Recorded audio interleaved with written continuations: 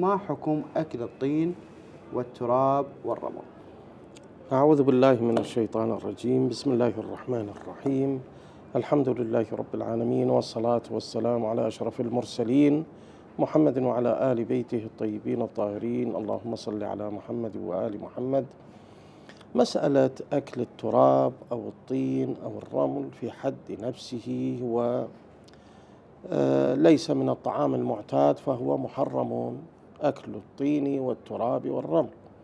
لكن آه، ورد في بعض الروايات من المأثور أنه من تناول قليل من تربة الإمام الحسين عليه السلام.